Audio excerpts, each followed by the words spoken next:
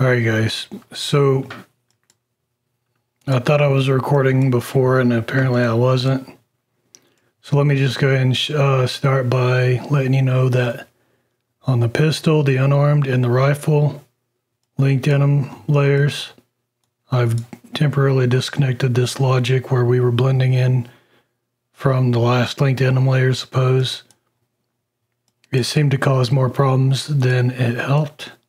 So, um, also, I I've resolved those problems uh, anyway. So, whatever I, I must have thought that I was fixing whenever I was doing that, apparently I wasn't fixing. So, I'm not going to get into uh, the actual uh, what the actual problem was, but as far as the rifle one, I redid the rifle one because it didn't actually have a skeleton assigned to it. That may have been part of the problem whenever we were switching to the uh, rifle. So now we can select our blend profiles, whereas before we weren't able to. So yeah, I rebuilt that. But yeah, let me just go ahead and uh, get into this.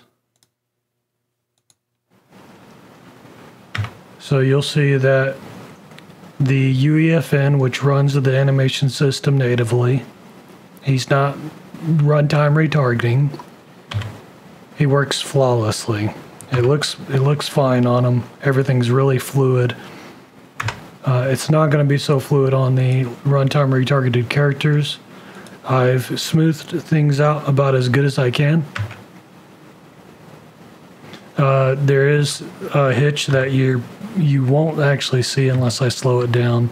It's there, and it would be a lot more fluid if I were able to fix it. But as far as I can tell, this is related to the way things are retargeting from them to the UEFN and then back to them. So it's like a ping pong effect, and things are getting distorted along the way. Uh, but that's the hack I had to use in order to prevent you guys from having to retarget it.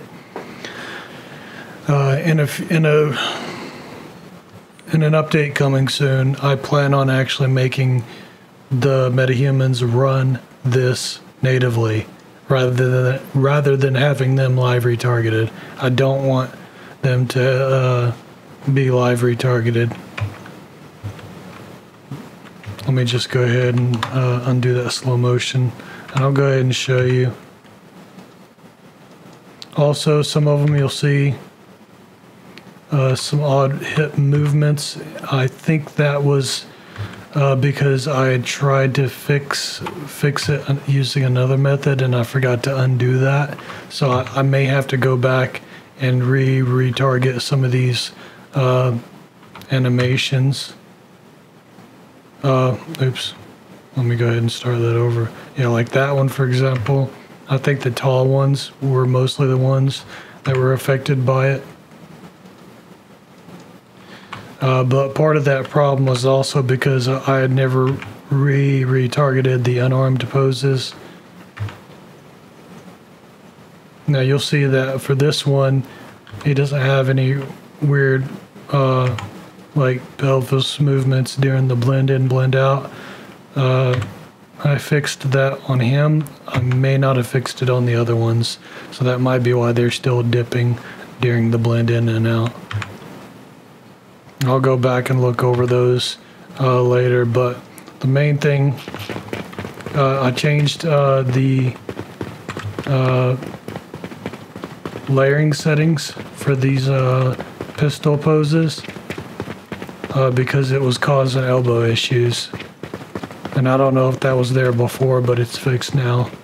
it looks a little stiffer now. It doesn't look quite as dynamic but it did fix those issues we were having. So uh, that's the reason why I changed it uh, to just use overlay layering rather than the local uh, space for the secondary, which is what I was using before because it was more dynamic.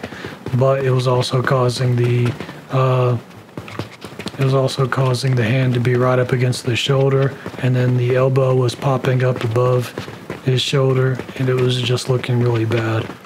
So I may go back and try to fix that. And that was mostly because on, let me go back and go ahead and go over this part. Because on these characters right here, I for the uh, IK rig, I had to resort to the no offset one, which does not use full body because it was causing weird issues with the neck and the head movement during runtime retargeting, which is why I had to get away from the full body IK for them. I'm not really entirely sure why. So if I do uh, manage to go back and resolve that, because I thought I had already resolved that, but apparently not. So if I do go back and figure out what it was that I missed or whatever on these, then I may uh, revert back to using the full body IK. But as of right now, this fixes the neck and head issues. So that's why I'm using that for them, for their runtime retargeting. So the last thing is I am aware now of this problem right here where we are in forward facing mode, not strafing mode, and he lose, completely loses his grounding. I'm currently looking into that. I was not aware that was even a problem until uh, just recently. Nobody had ever uh, brought that to my attention, so I I've caught it late. Therefore, because I've caught it late, I don't know what caused it. So I'm gonna have to go back and I'm gonna have to try to figure out what what's causing it. I don't think it's the offset root bone logic that I added though. I'm pretty sure that's not the case. I've if that is the case, then there might be another serialization bug, and if that's the case, then I might end up having to remake the animation blueprint from scratch. But I'm not completely sold on the ideal that it is a serialization problem this time. Uh, I'm not even sure that it's the offset root bone that's causing that.